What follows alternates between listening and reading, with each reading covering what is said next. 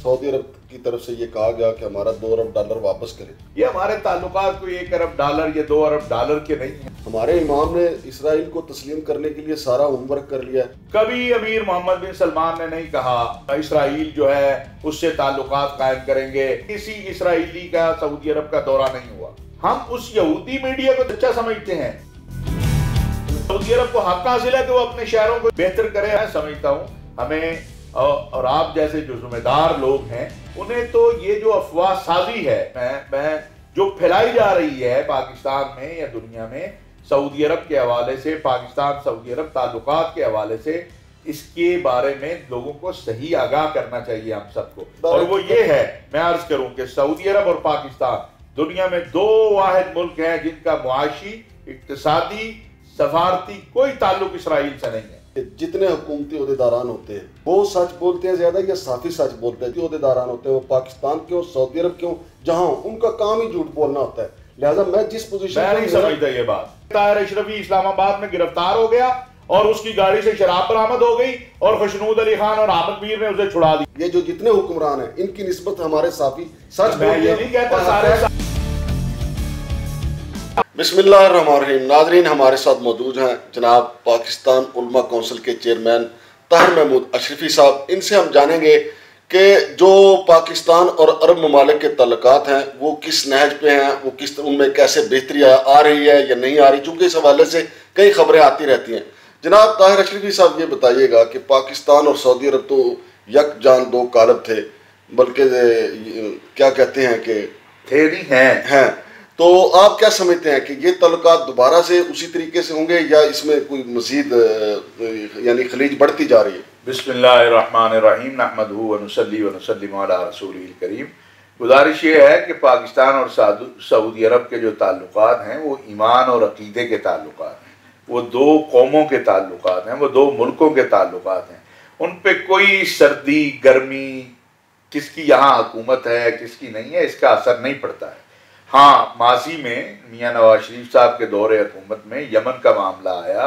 उसमें जो कुछ बाज लोगों ने हमारी पार्लियामेंट में खड़े होकर कहा या हुकूमत ने जो गो मगो की कैफियत रखी, उससे मसाइल पैदा ज़रूर हुए अरब मुल्कों के और पाकिस्तान के दरमियान। गिला पैदा हुआ अरब ममालिक को। लेकिन अल्हम्दुलिल्लाह, हमारे सिपा सलार जो हैं, जनरल कमर जावेद बाजवा साहब और वज़ी अजम इमरान ख़ान उनकी कोशिशों से आज आप देखें कि अलहमदिल्ला हमारे बेहतरीन ताल्लुक हैं।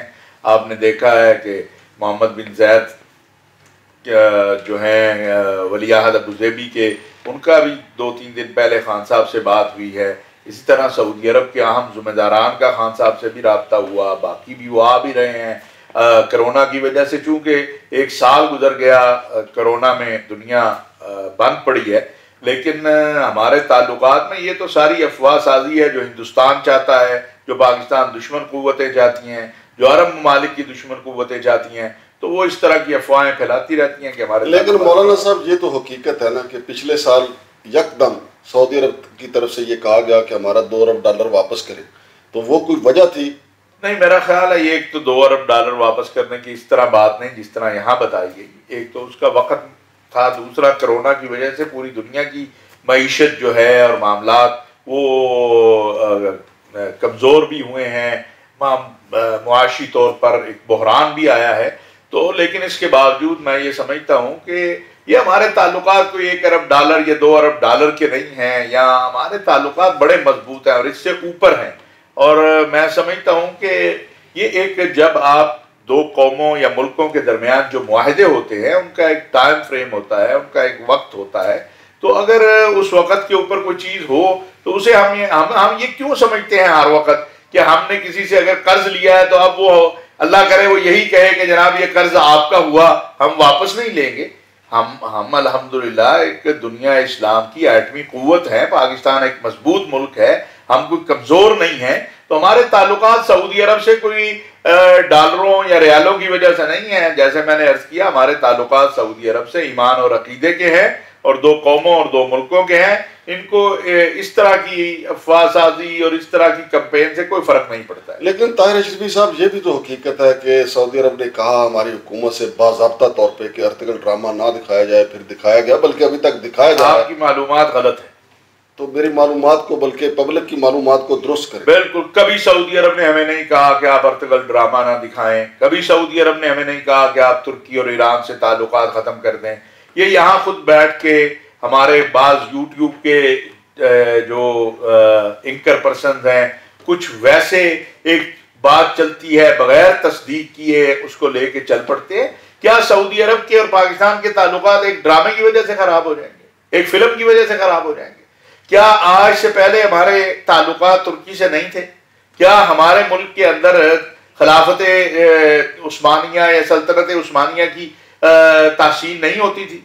ये ये बातें तो बड़ी अजीब सी हैं और खुद सऊदी अरब के तुर्की से अच्छे ताल्लुक हैं। क्या सऊदी अरब और तुर्की के दरमियान कोई जंग हो रही है?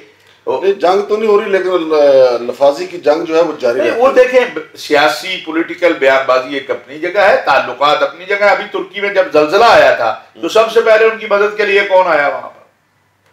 सबसे पहला बयान जो उस पर आया वो खादिमुल हरमैन शरीफ शाह सलमान बिन अब्दुल अज़ीज़ का आया कि तुर्की के जो हमारे भाई हैं उनकी मदद हम हर तरह से करेंगे और कौम को भी उन्होंने कहा। तो मैं समझता हूँ कि छोटी छोटी चीज़ों में उम्मत मुस्लिमा के मसाइल बहुत बड़े हैं। हमें सबसे बड़ा मसला दाखिली जो खारजी मुदाखलत है इस्लामी मुल्कों में, बरूनी मुदाखलतें हैं, जो दहशत गर्दी है, जो दहशत गर्द ग्रोह हैं, उम्मत को इनसे खतरा है। उम्मत को वहादत की ज़रूरत है। हमारे सबसे बड़ा मसला फलस्तीन और कश्मीर है। हमें उस पर आगे बढ़ना है। और आपने देखा कि पाकिस्तान की जो लोग ये अफवाहें फैला रहे थे कि सऊदी अरब की पॉलिसी चेंज हो गई कश्मीर पे, अब जब इस्लामी ताउन तंजीम के वजरा खारजा का इजलास हुआ तो उसमें सऊदी वज़ीर खारजा ने पाकिस्तान के मौकफ की अपनी तकरीर में तायद की। और इस वक्त ओ आई सी का सरबराह जो है वो सऊदी अरब है। उसमें करारदाद मुतफिका मंजूर हुई। एक मेंबर भी मिस नहीं था। तो ये तो यहाँ पर किसी ने नहीं फैलाया। लेकिन ताहिर अशरफी साहब, ये भी तो हकीकत है ना तो उम्मत जो है, तमाम इस्लामी ममालिक जो हैं, वो सऊदी अरब को अपना इमाम समझते हैं हमारे इमाम ने इसराइल को तस्लीम करने के लिए सारा उम्र कर लिया है। लेकिन एक हम हैं। मिसाल के तौर पर पाकिस्तान वाद मुल्क है, जो अभी तक अपने स्टैंड पे खड़ा है कि हम इसराइल को तस्लीम नहीं करेंगे। लेकिन शहजादा मोहम्मद बिन सलमान जो है, वो ये भी कह चुके हैं कि वो ईरान की नस्बत इसराइल को मानना, बल्कि उनसे बरदराना तल्लक कायम करने को तरजीह देंगे। और पिछले दिनों आपने देखा भी है कि वो एक खुफिया दौरा भी हुआ। फिर न्यू शहर बसाया जा रहा है कि सऊदी अरब से कि इसराइल के साथ तल्लक बहुत ज़्यादा आगे बढ़ गए हैं। आप मांग साहब, बड़े माशा बाखबर साफ़ी हैं। जितना आपने सवाल किया मेरा चैलेंज है कि इसमें एक जुमला भी दुरुस्त नहीं। वैसे एक जुमला भी दुरुस्त नहीं है। कभी अमीर मोहम्मद बिन सलमान ने नहीं कहा कि जी हम इसराइल जो है उससे ताल्लुकात कायम करेंगे और ईरान के से ज़्यादा करीब है हमारे जो है वो इसराइल। कभी और सऊदी अरब के वज़ीर खारजा ने एक घंटे के अंदर अंदर तरदीद की कि किसी इसराइली का सऊदी अरब का दौरा नहीं हुआ। मुझे यह समझ नहीं आती है कि एक चीज़ इस यहूदी मीडिया बनाता है, जिस तरह उन्होंने पाकिस्तान के बारे में बनाया कि हमारा वफद गया और मुजाकर किए, जबकि उसके कहीं ताल्लुक ही नहीं था। हम उस यहूदी मीडिया को तो सच्चा समझते हैं। जो हमारे मुसलमान भाई हैं, हम उन्हें तस्लीम सच्चा समझने को तैयार नहीं है। न्यूम इसराइल में है। या न्यूम सऊदी अरब में है। सऊदी अरब में। तो फिर सऊदी अरब को हक हासिल है कि वो अपने शहरों को जो है वो बेहतर करे अपनी जिस तरह हमें हक हासिल है हम अपनी सियाहत को अपनी सकाफत को अपनी मुआशरत को बेहतर करें। ये कहा याद रखिए सऊदी अरब ने हमेशा सब हर बड़ी कॉन्फ्रेंस जो दुनिया की हुई है इंटरनेशनल उन्होंने कहा हमारा सबसे बड़ा मसला सबसे पहला मसला वो फलस्तीन का मसला है। अभी इस्लामी ताउन तंजीम ने पाँच फरवरी जो हमने यौम कश्मीर बनाया इस पर हमारे वज़ीर खारजा ने शुक्रिया अदा किया, जिस तरह उन्होंने हमारा साथ ताउन किया। मैं समझता हूँ, हमें और आप जैसे जो जिम्मेदार लोग हैं, उन्हें तो ये जो अफवाह साजी है, मैं मैं, जो फैलाई जा रही है पाकिस्तान में या दुनिया में, सऊदी अरब के हवाले से पाकिस्तान सऊदी अरब ताल्लुकात के हवाले से इसके बारे में लोगों को सही आगाह करना चाहिए हम सबको। और वो ये है मैं अर्ज़ करूँ कि सऊदी अरब और पाकिस्तान दुनिया में दो वाहिद मुल्क हैं जिनका मुआशी इकतसादी सफारती कोई ताल्लुक इसराइल से नहीं है। और ना हो सकता है जब तक फलस्तीन की आज़ाद रियासत जो है जिसको फलस्तीनी तस्लीम करें। जो फलस्तीनी तस्लीम करेंगे वही हम तस्लीम वैसे तार अशरफी साहब चूँकि आप दोनों मुल्कों की डार्लिंग है पाकिस्तान की तरफ़ से भी सऊदी अरब की तरफ़ से भी, बल्कि दोनों मुल्कों की तर्जमानी भी भरपूर करते हैं, और आप मेरी बात मानेंगे नहीं कि इसराइल और सऊदी अरब कितने करीब हो चुके हैं, और मैं मनावा आपको मनाने की कोशिश भी नहीं करूँगा, इसलिए नहीं, ये या तो अगर आप वज़ीर खारजा होते सऊदी अरब के जनाब, या आप कोई क्राउन प्रिंस के सेक्रेटरी या उनके तर्जुमान होते, या खादिम, मैं ज़रूर मांगड़ साहब माफ़ मान लेता। मैंने जब सऊदी अरब के वज़ीर खारजा से और खादिमुल हरमैन शरीफैन शाह सलमान बिन अब्दुल अज़ीज़ से उनके मुँह से सुना हो। और मैंने मिस्र के सॉरी, फलस्तीन के सदर का मिस्र में ये बयान सुना हो। और खुद उन्होंने मुझे कहा, फलस्तीनी सदर महमूद अब्बास ने, कि मुझे खादिमुल हरमैन शरीफैन शाह सलमान बिन अब्दुल अज़ीज़ और उनके वलियाद अमीर मोहम्मद बिन सलमान ने यह बात कही है कि जो चीज़ फलस्तीनियों को कबूल होगी वही हमें कबूल होगी। तो फिर मुझे उनकी बात पे एतवार करना चाहिए या यहाँ जो अफवाह साजी है उस पर साहब दिल पे हाथ रख के बताएँ कि जितने हुकूमती अहदेदारान होते हैं वो सच बोलते हैं ज़्यादा या साफी सच बोलते हैं? जितने हुकूमती अहदेदारान होते हैं वो पाकिस्तान के और सऊदी अरब के जहाँ उनका काम ही झूठ बोलना होता है। लिहाजा मैं जिस पोजीशन मैं नहीं समझता ये बात। और मैं तो बिल्कुल मैं हुकूमती जिम्मेदार हूँ। मैं मैं आपको आज दावे से कह सकता हूँ कि ना कोई इसराइली सरबरा या कोई इसराइली वफद सऊदी अरब में गया, ना हमारा कोई वफद इसराइल में गया। तो ये किसने दिया था? ये तो बड़े ज़ोर से आपके अभी एक चीज़ चला दें, मेरे अपने साथ। आप छोड़ दें, आप कहते हैं, साफी झूठ नहीं बोलते। मैं मक्का मुकरमा में बैठा था, कहाँ पे? बैतुल्ला के अंदर। और यहाँ आपके चैनल्स पे चल रहा था कि ताहिर अशरफी इस्लामाबाद में गिरफ़्तार हो गया और उसकी गाड़ी से शराब बरामद हो गई और खुशनूद अली खान और अहमद मीर ने उसे छुड़ा दिया। जबकि मैं मक्का मुकरमा में बैठा था बैतुल्ला में बैठा था। और आपके मेन चैनल और जो है मीडिया वो चला रहा था कि मेरी गिरफ़्तार कर इसको कहते हैं खबर का बाउंस हो जाना। ये तो कहीं ना यानी आप कहते हैं इंसान है ना सर ये गलती हो जाती है। लेकिन मैं ये कहता हूँ अल्लाह की कसम ये जो जितने हुक्मरान हैं इनकी निस्बत हमारे साफी सच मैं ये नहीं कहता सारे साफी जिस तरह सारे हुक्मरान सारे हुकूमती जिम्मेदारान झूठ नहीं बोलते, इसी तरह सारे सहाफी भी झूठ नहीं बोलते, हुक्मरानों में गुजरा में भी गलत बयानी करते होंगे, साफियों में भी गलत बयानी करते हैं। मैं अपनी जात का मैंने आपको हवाला दिया कि ऐसी ऐसी चीज़ चलाई जाती है, हम हँसते हैं। अब अब तो लोग कहते हैं, तरदीद तो मैं हंस के क्या देता हूँ। यार अच्छा है, चलने दो। कितनी चीज़ की आप तरदीद करेंगे, कितनी बात की आप। अभी मैं आपको बताऊँ, चंद माह पहले मैं सऊदी अरब गया। अपने जाति उससे गया। यहाँ क्या कुछ नहीं चला? सही। यहाँ कौन सी ऐसी हिंदुस्तान? चले वहाँ तो मुझे खुशी है कि अगर मेरे सऊदी अरब जाने से हिंदुस्तान को तकलीफ़ होती है तो मैं तो उस पर बड़ा खुश होता हूँ।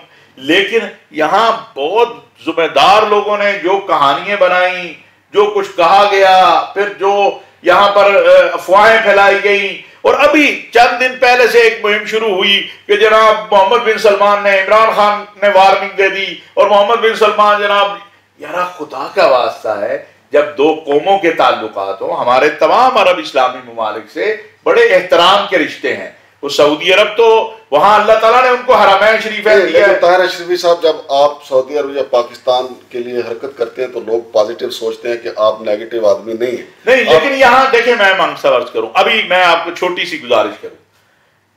हमारे नए सफीर जो जनरल बिलाल साहब जो हैं अभी उनके कागज़ जो है वो प्रोसेस में एक खबर आई। मैं आपको पचास खबरें दिखा सकता हूँ।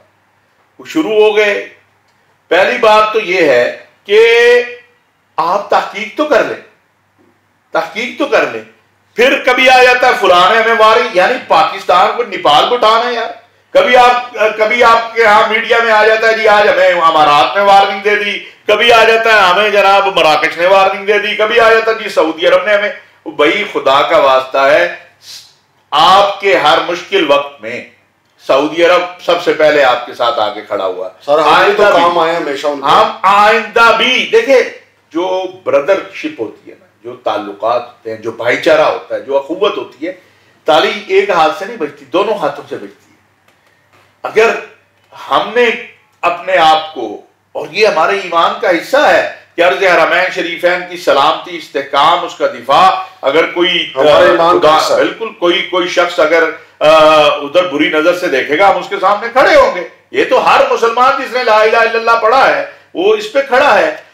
आप जैसे माशाल्लाह जो बड़े हजरात हैं जो सहाफत के मैदान में जिन्होंने अपना सारी ज़िंदगी लगा दी मेरी उनसे ये गुजारिश है आपके तवसुल से कि हम बैठे हैं ना तहकीक कर ले। अभी मैं आपको आपने कहा साहब एक बड़ी दुनिया की न्यूज़ एजेंसी उसने खबर दी कि एक हज़ार बच्ची हर साल पाकिस्तान में मज़हब तब्दील के होता है उसका और वो शादी होती है और मैं चैलेंज करता हूँ कि आप गुजशत साल की एक सौ बच्ची की लिस्ट दे दें। नहीं सर जी चैलेंज करने के बजाय उसके खिलाफ कार्रवाई होनी चाहिए। ठीक है? अब हम उस, उस इदारे को भी कह रही हैं। हम उस इदारे को कह रहे हैं कि लाएँगी वो कहे जी फुला एनजीओ ने कर दिया। अभी एक इदारे ने कहा वो पता नहीं एक शख्स ने चला दिया कि जी पाकिस्तान में तोहन मज़हब का कानून जो है वो जना भाई, कानून होता है इस्तेमाल करने के लिए होता है। कहीं गलत इस्तेमाल हुआ तो आप बताएँ। मैं बैठा हूँ इस दफ्तर में, मैं चैलेंज करता हूँ, पिछले साढ़े तीन माह में आप मुझे कुछ जबरी मज़हब की तब्दीली का वाक्य दे दे। कोई जबरी शादी का दे दे बच्ची के साथ। कोई तोहन मज़हब का, तोहन नमू से रिसालत का गलत इस्तेमाल का दे दे। मैं बैठा हूँ, आप बताएँ। हम कह रहे हैं, लाएँ। यहाँ कोई नहीं ला सिर्फ़ प्रापोगंडा करने के लिए। तो मैं समझता हूँ कि कुछ लोगों का, जो बेचारे बेरोजगार हुए तो इंटरनेशनल इदारे उनको हायर कर लेते हैं। और फिर वो उल्टी तो जिस तरह सहाफत में सारी चीज़ें सच नहीं आती हैं, इसी तरह बाज हुकूमती जुम्मेदारान दुनिया भर में अपनी अपनी मसलहत के साथ, अगर आप उन्हें झूठ ना कहें तो अपनी मसलहत के ताबे बात करते हैं। लेकिन इसराइल के मामले में आज के दिन तक तो पाकिस्तान और सऊदी अरब का मौका बड़ा वाजे है, दुनिया के सामने है। हमारा वज़ीर आज़म तो इस पर बात नहीं करने देता। अच्छा तार अशरफी साहब आप चूँकि दोनों मुल्कों के तर्जमान हैं कुछ अच्छी सी खबरें सऊदी अरब की तरफ़ से बता दें। कुछ अच्छी सी खबरें पाकिस्तान की तरफ़ मैं दोनों मुल्कों का खादिम हूँ तर्जुमान नहीं हूँ। पाकिस्तान मेरा वतन है और मेरी अकीदत और एहतराम अर्ज़ हरमैन शरीफैन से काबतुल्ला और रोज़ा रसूल सल्लल्लाहु अलैहि वसल्लम की वजह से है।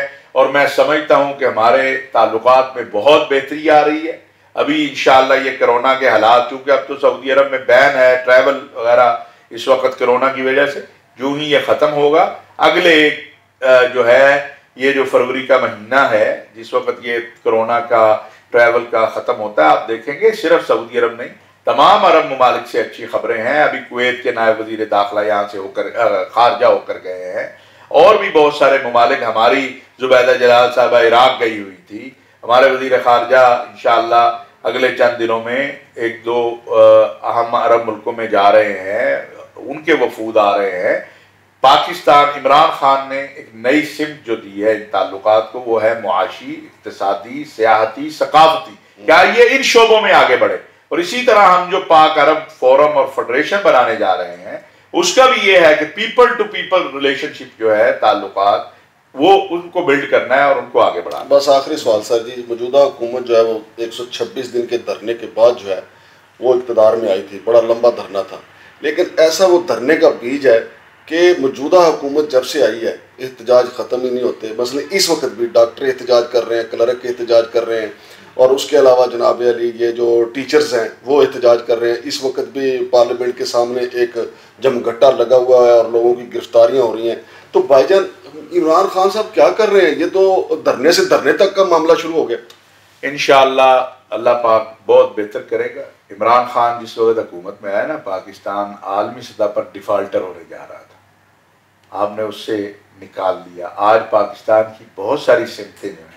आपकी अगर गारमेंट्स का देखें, आपके हाउसिंग का देखें, बहुत सारी चीज़ों में तेज़ी से पाकिस्तान ऊपर जा रहा है, तरक्की की तरफ़ जा रहा है, रोज़गार के मौके पैदा हो रहे हैं, चीज़ें हो रही हैं। जो सत्तर साल की खराबियाँ हैं, दो चार साल में तो इमरान खान उनको ठीक नहीं कर सकता। लेकिन जब आपकी सिमत ठीक होगी तो इन मामला भी ठीक हो जाए तो नाजरीन, आप जनाब मौलाना ताहिर अशरफी साहब की गुफ्तु सुन रहे थे, उनका मौक़ अपना है, लेकिन मैं ये समझता हूँ कि जो तो जनाब इमरान खान से थी, वो अभी तक पूरी नहीं हुई। रोज़गार के मौके तो दूर की बात है, बल्कि ज़्यादातर लोग बेरोज़गार हुए हैं। और आप देख रहे हैं कि पूरे मुल्क में कहीं ना कहीं, कोई ना कोई बड़ा एहतजाज जारी होता है। शमशाद मांगट को मौलाना ताहिर अशरफी साहब के दफ्तर से इजाज़त दीजिए। अल्लाह हाफिज़।